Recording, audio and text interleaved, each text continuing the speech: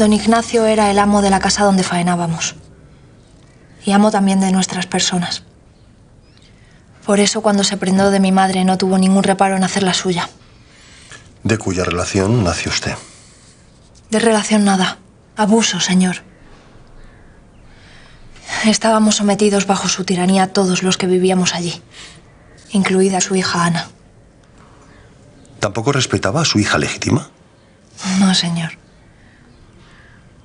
Ese hombre ejercía la mano de hierro tanto con sus criados como con su propia hija. Y es por eso que mi abuela y yo decidimos llevárnosla cuando huimos de allí. Se llevaron a la hija de su amo. Sí. Para salvarla de su crueldad. Esa niña era pasta de ángel y no se merecía la vida que su padre le iba a dar, una vez muerta su madre. ¿Y dónde está ahora la niña?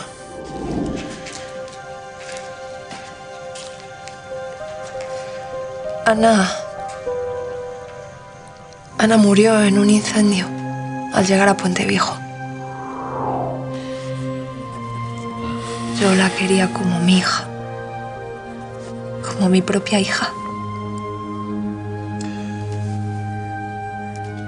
¿Y cuándo fue que don Ignacio regresó a sus vidas?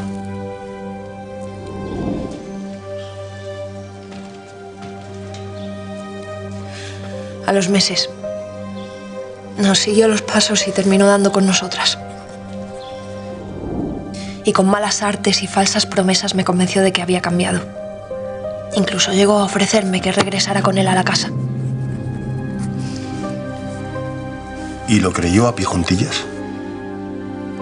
Hasta entonces yo no supe que él era mi padre.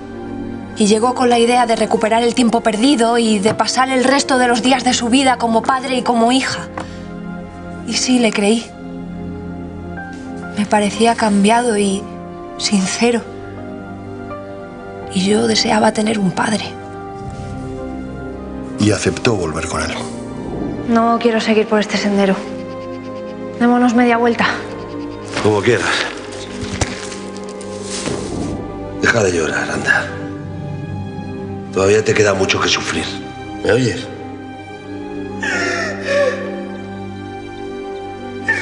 Si me va a matar a galos ya, por favor, y acabe con este sinsentido.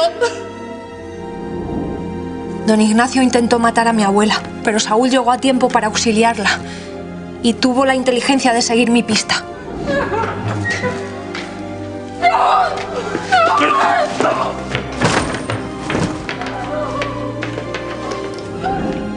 Yo conseguí librarme de las ataduras, cogí una pala y le asesté un golpe mortal.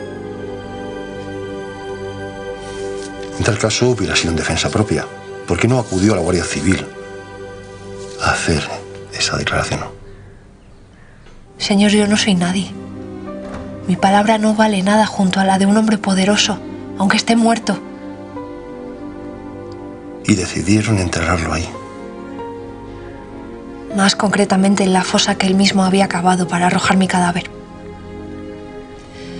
No sé, pensamos que sin amigos y sin familia nadie preguntaría por él.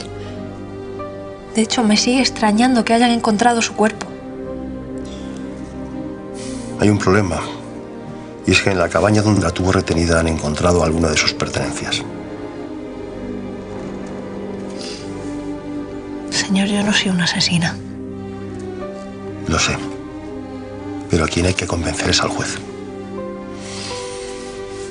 Es un caso muy complicado, pero creo que no está todo perdido. Mire, voy a hacer una serie de preguntas y lo que necesito es que me conteste con la mayor exactitud. Necesitamos saber todas las pruebas que tiene la Guardia Civil contra usted y lo que les ha contado desde el momento que la han detenido. Con la mayor exactitud. ¿Comprende? Sí, haré todo lo que esté en mi mano. Su vida depende de ello, Julieta.